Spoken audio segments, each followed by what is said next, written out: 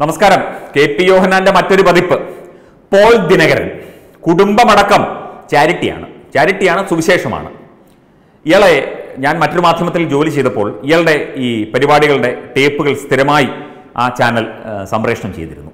അപ്പോൾ ഇയാളുടെ പല പല വിക്രിയകളും കണ്ട് സത്യം പറഞ്ഞാൽ ഞങ്ങളന്ന് ഡെസ്കിലിരുന്നവരൊക്കെ ചിരിക്കുമായിരുന്നു. കാരണം രാവിലെ രാവിലത്തെ ഡ്യൂട്ടിക്കിടെയാണ് ഇയാളുടെ ഈ തുള്ളലും ബഹളം കൂട്ടലും യേശു വിളിക്കുന്നു എന്നൊക്കെ പറഞ്ഞ്. അതുപോലെ തന്നെ തിരുവനന്തപുരത്ത് ഞാൻ സഞ്ചരിക്കുന്ന പോകുന്ന വഴിയിലാണ് ഇയാളുടെ യേശു വിളിക്കുന്നു അതിന്റെ ഓഫീസ്. പോൾ ദിനകരൻ ഭാര്യ രണ്ട് മക്കൾ മകൻ ഇവരെല്ലാം ചേർന്നാണ് പരിപാടി. അച്ഛനുണ്ടായിരുന്നു. കെ ജി ദിനകരൻ എന്നോ മറ്റാ പേര്. അച്ഛന്റെ വഴിയെ മകനും എത്തുകയായിരുന്നു. അച്ഛൻ കുറേ തട്ടിപ്പും വെട്ടിപ്പും ഒക്കെ നടത്തി മരിച്ചുപോയി.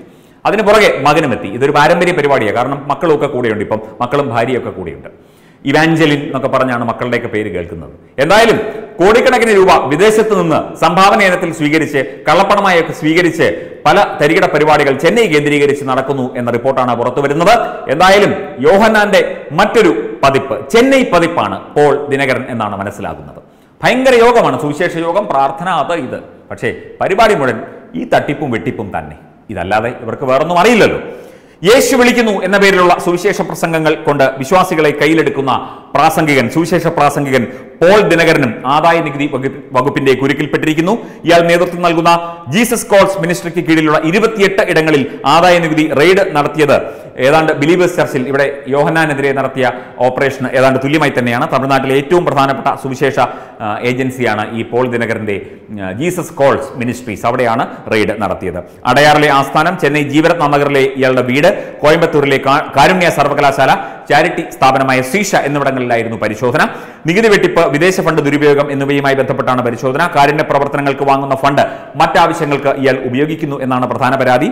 അതുപോലെ തന്നെ ദിനകരൻ ഇയാളുടെ അച്ഛന്റെ കാര്യമൊക്കെ പറയുന്നുണ്ട്. നികുതി വെട്ടിപ്പ് നടത്തിയെന്ന പരാതിയെ തുടർന്നാണ് നടപടിയെന്ന് ആദായ നികുതി വകുപ്പ് അറിയിച്ചു. ചട്ടം ലംഘിച്ച് വിദേശ നിക്ഷേപം സ്വീകരിച്ചു എന്ന ആരോപണമുണ്ട്.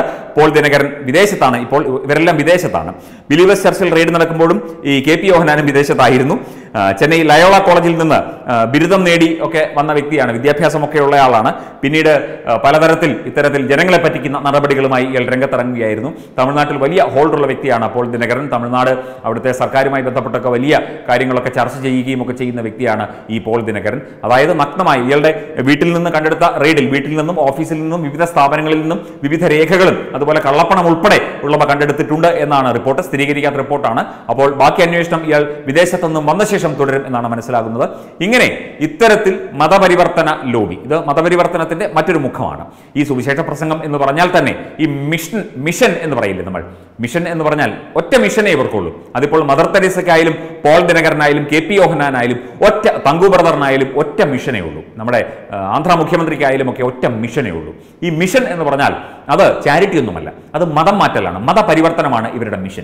അതിന്റെ ഭാഗമായിട്ട് പ്രവർത്തിക്കുന്ന കോടിക്കണക്കിന് രൂപ വിദേശ ഫണ്ട് വെട്ടിച്ച് തിന്ന് ജീവിക്കുന്ന ധാരാളം സ്ഥാപനങ്ങൾ നടത്തി അതിലൂടെയും നികുതി വെട്ടിപ്പ് നടത്തി ജീവിക്കുന്ന ഒരു വ്യക്തിയാണ് ഈ പോൾ ദിനകരൻ എന്നാണ് ഇപ്പോൾ പരാതി വന്നിരിക്കുന്നത്.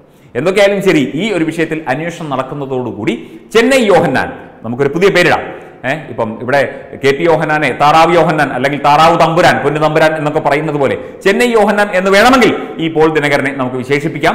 അപ്പോൾ പോൾ ദിനകരന്റെ പൊള്ളത്തരങ്ങളും ആ, പോഴത്തരങ്ങളും ഒക്കെ ഇതാ പുറത്തു വരാൻ പോകുന്നു. വരും ദിവസങ്ങളിൽ അതിന്റെ വിശദാംശങ്ങൾ അറിയാൻ പറ്റും. അതിന്റെ രേഖകളും മറ്റു കാര്യങ്ങളും ഒക്കെ ഇൻകം ടാക്സ് അധികൃതർ പിടിച്ചെടുത്തിട്ടുണ്ട്. ഈ വിഷയത്തിൽ വേണ്ടി വന്നാൽ എൻഫോഴ്സ്മെന്റ് ഡയറക്ടറേറ്റിന് അന്വേഷണം കൂടി ഉൾപ്പെടുത്തും എന്നാണ് മനസ്സിലാകുന്നത്. മാത്രമല്ല ഇയാളുടെ തമിഴ്നാട്ടിലെ കൂടാതെ ആന്ധ്രയിലെയും കേരളത്തിലെയും അടക്കമുള്ള സ്ഥാപനങ്ങളിൽ വരും ദിവസങ്ങളിൽ റെയ്ഡും പരിശോധനയും നടക്കും എന്ന വിവരം കൂടി കിട്ടിയിട്ടുണ്ട്. അപ്പോൾ പോൾ ദിനകരന്റെ പോഴത്തരങ്ങൾ എന്തൊക്കെയാണ് എന്ന് പോഴത്തരങ്ങൾ മാത്രമേ ഉള്ളൂ. അല്ലെങ്കിൽ ഇത്തരം തട്ടിപ്പുകൾ മാത്രമേ ഉള്ളൂ. എന്തൊക്കെയാണെന്ന് നമുക്ക് വരും ദിവസങ്ങളിൽ അറിയാൻ സാധിക്കും. അത്രേ ഉള്ളൂ. webdesk.menus.